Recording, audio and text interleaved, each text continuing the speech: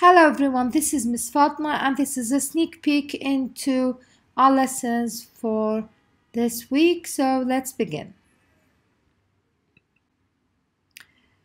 Things we'll be learning. First, we will learn how to write a personal statement. So I'll introduce it to you, you'll outline it, you'll look at example, examples, and then you'll write one yourself. We'll also do some grammar and in grammar here we're going to talk about prepositional phrases, how you identify them and how you use them in your writing and we'll also talk about their functions. So let's begin with the personal statement and first I'm going to talk about the preparation, how you prepare for it. Uh, before even preparing for it, put in mind that you're only writing one personal statement. So don't mention the specific college or university name in that personal statement. Okay?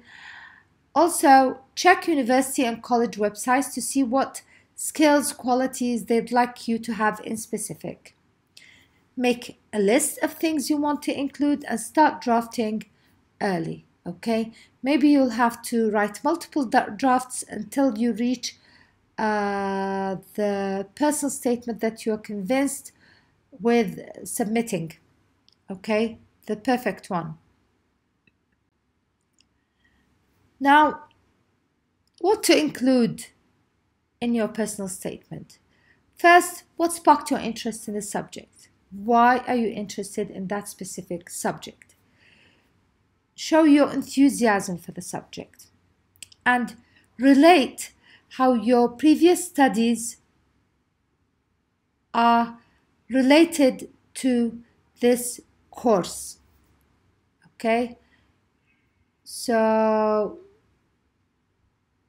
also mention relevant aspects of job placement, work experience, or volunteering you've ever done uh, write about your activities, hobbies that show interest in the subject.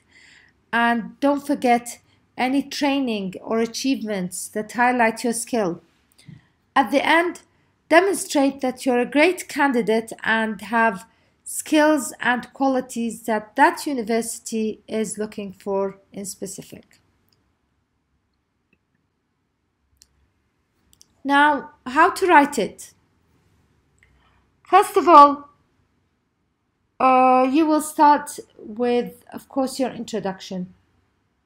In your introduction, start with an opening sentence that encourages the reader to read on. You have to capture your reader's attention from the first sentence. Sometimes you lose your reader from the first sentence, and sometimes it's the opposite. Very important. Focus on that. The introduction is very important. If your introduction is uh, nice and exciting, people will be encouraged to read on. Structure what you want to include in order that's most relevant to the unis and the colleges you are looking for. Okay? And most of the time we start with the subject you had at universities, and then your skills and then your hobbies, your community service. Okay? In your conclusion, reinforce your commitment and enthusiasm and skills suited to uni college.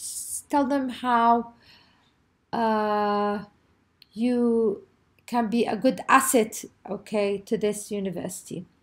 Check for grammar and spelling because it has to be extremely perfect and leave time to get feedback and redraft. So don't write last minute. Last thing we're going to talk about is the technical details. Uh, your personal statement is up to 4,000 characters. That's 47 lines of text, including spaces and blank lines. Make sure you don't copy because there are softwares that detect any similarities between yours and other uh, personal statements and this could jeopardize your application. Now a bit about the grammar we'll be doing this week. In prepositional phrases we'll be looking at what are prepositions? Uh, we talk about prepositions and their objects. Uh, we will define the prepositional phrase and look at examples. We look at prepositional phrases with compound objects and we'd look at how prepositional phrases function. I hope this was useful and thank you very much for listening.